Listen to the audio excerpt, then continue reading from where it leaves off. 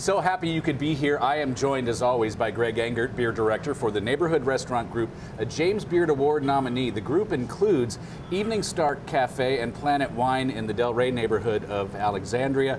You also have uh, what I believe is still the latest addition to the NRG, Shop Made in DC. That's in DuPont Circle. Check that out. That's cool. Uh, Greg, it is always great to see Great you. Great to see you too. What is on tap this week as we launch into 2018? Our first beer of 2018 is a fresh hoppy IPA from one of the best local producers uh, of that style. This is Burley Oak out of Berlin, Maryland, and the beer itself is called Aboriginal Gangster. Ooh. Six and a half percent IPA.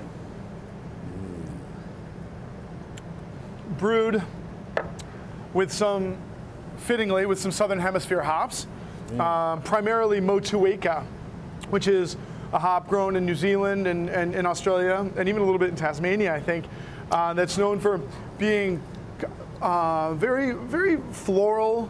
Uh, lemon lime is the quality. It's almost like mojito-esque. You can get it on the palate and in the nose. Uh, a little bit grassy, uh, delicate, but nuanced, delicious hop. And then also some Pacific Jade from the Southern Hemisphere that's kind of uh, peppery. I think it works especially well on this beer because this is a beer that Burley Oak has made for some time now.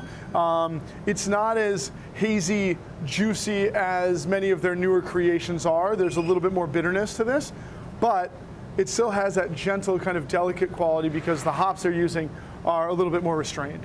Yeah, and the, uh, the if you like lemon cooler cookies, I think you'll really like the Yeah, finish totally. on this because Yeah. that's what sort of hit- Absolutely, hit, that's- me. yeah, absolutely.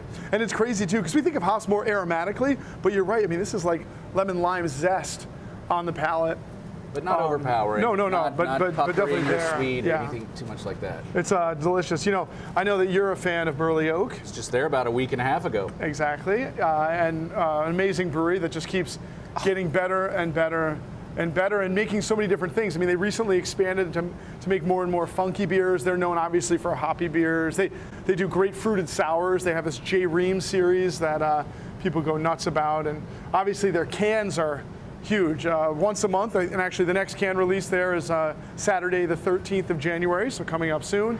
They release four different limited runs of really unbelievable cans. People line up. Uh, it's it's a big deal. Burley Oak is it's crazy. Doing great stuff. Yeah, if you're if you're looking for resolutions for 2018 and you haven't been and, you- and you can spare the Oh, yeah. the three hour drive out Yeah. there, uh, you gotta go. It's great. They're It's lovely people who work there, and the beer is just never disappoints. The two or three times I've been there. Um, what would you pair this with? So uh, a great IPA, nice and hoppy, a little bit bitter, but not overwhelming. Six and a half percent alcohol. The lemon lime quality seemed to suggest that it would be perfect with Tex-Mex of all kinds. You know, fish tacos, shrimp enchiladas. Um, burritos, you name it. It'd be great with a plain roasted chicken. Um, I also like it with um, some some lighter uh, pasta dishes like linguine with clam sauce. Would be fantastic with that. Do you think we'll see more of their beers in the DC area uh, Yes. as, as the years progress here the next couple years? Absolutely. What's cool, so they've been around since 2011. Uh, they got started distributing a bit in, in Maryland and DC, a little bit, I think even in, in, in Delaware.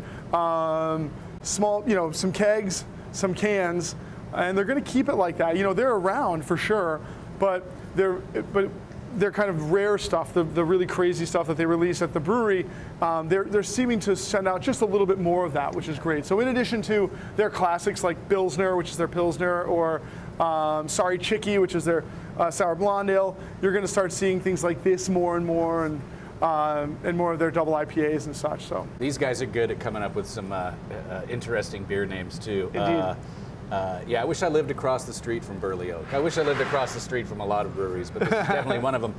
Greg, thank you as always. Thank you. Everyone, please always do drink responsibly and be sure to bring your thirst next time for another beer of the week.